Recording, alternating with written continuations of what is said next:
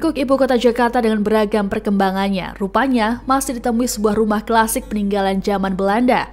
Rumah di Jalan Abdul Rahman Saleh, Senen, Jakarta Pusat ini diperkirakan sudah ada sejak abad ke-19. Tak disangka bangunan tua ini masih digunakan sebagai tempat tinggal bagi lima keluarga. Mereka tinggal di rumah yang kemudian dibagi menjadi lima petak ini.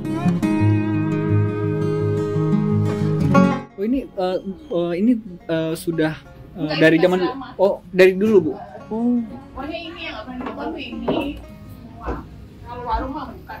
Oh. Gak ada yang dibongkar mas. Semuanya masih lama. Asli gitu ya bu ya.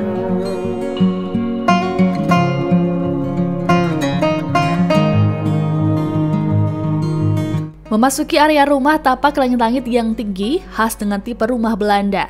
Sejumlah ornamen lainnya juga masih dipertahankan sehingga meninggalkan kesan lawas, seperti kusen jendela dan pintu hingga tiga lemari kayu tua yang diperkirakan sudah ada sejak zaman Belanda. Terdapat sebuah tangga untuk menuju lantai atas yang masih mempertahankan kayu jati asli. Namun, ada beberapa bagian yang sudah diganti oleh penghuni rumah saat ini karena sudah mengalami kerusakan, seperti genting hingga bagian lantai. Beberapa kanopi ruangan juga masih asli namun kini mulai mengalami pengeroposan. Oh itu seng ini ya, nah, kanopi gitu ya. Kanopi ya, hmm. Jadi seng itu kan istilahnya saya aja udah setua ini gitu. Hmm. Apalagi seng itu. Tapi dia itu baru keroposnya ya setelah saya tua ini. Hmm. Maksudnya Bu Kartini boleh nunjukin gak sih Bu uh, mungkin yang boleh apa ibu perlihatkan yang masih oh, masih, asli. asli. Ya itu, tapi ada kabelnya buang aja itu kabelnya. Oh ini ya. Kabel dulu telepon. Terus, nah ini talang lama ini. Ini talang dulu. Oh ini talangnya bu ya? Yang itu ya. Oh. Nah itu talang zaman dulu yang ini. Nah terus ini saya ini dulu Oh ini zaman dulu ya? Sama ininya ya? Terus ubin ya bu ya apa? Oh, ya. Hmm. Ini zaman dulu. Oh. Ini dari saya. Kalau itu dalamnya ruang makan. Iya. Hmm. Ini di zaman sekarang. Ini semuanya semua dulu ini dulu. Itu pintu dulu. Hmm, uh, ini jendelanya masih jendela dulu sebentar. Iya, Bu.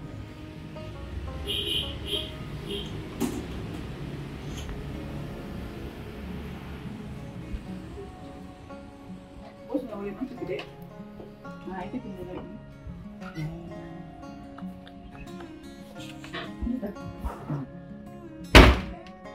Itu pintu dulu, ini jendela dulu. Hmm. Ininya enggak ya? Hmm. Ini enggak. Ini, ini masih ya, pintunya masih belum.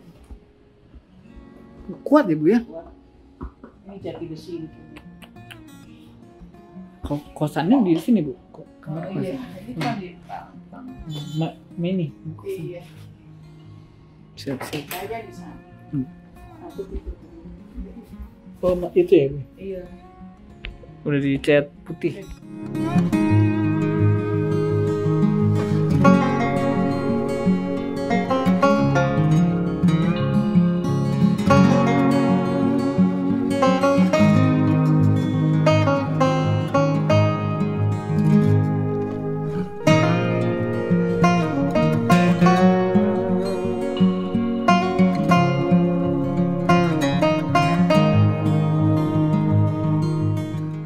Seorang penghuni rumah bernama Herni menceritakan, rumah ini dulunya ditempati oleh keluarga Honman.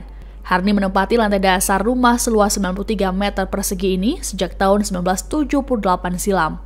Saat pertama kali datang, rumah tersebut sudah ditempati oleh beberapa keluarga. Berbeda dengan Herni, Kartini sudah tinggal di rumah klasik ini sejak lahir, yakni tahun 1970 lalu. Saat ini Kartini menyewakan bagian bawah rumahnya untuk berjualan nasi dan juga membuka dua kamar kosan.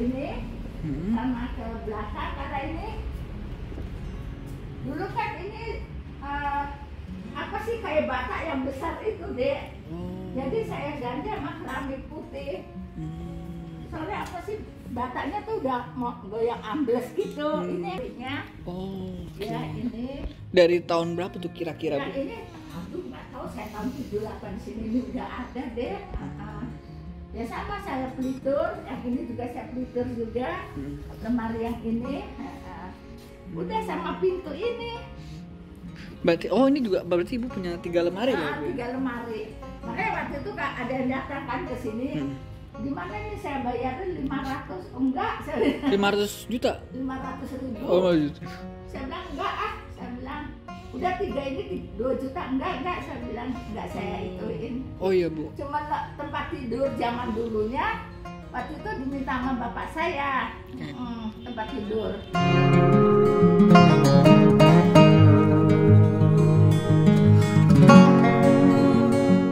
Bangunan lama tentu tak lengkap rasanya dengan beragam cerita bernuansa mistis di dalamnya. Herni misalnya, yang mengaku sering melihat sosok mirip orang Belanda yang duduk di belakang rumahnya. Biasanya, sosok tersebut muncul saat Herni akan menutup warung kopi miliknya. Hal yang sama juga dialami oleh Kartini yang tinggal di lantai atas rumah. Kartini tak mengalaminya langsung, namun temannya yang pernah menginap mengaku sempat ditarik saat tengah tidur di kasur. Teman Kartini juga mengatakan pernah melihat sosok noni Belanda di atas genting.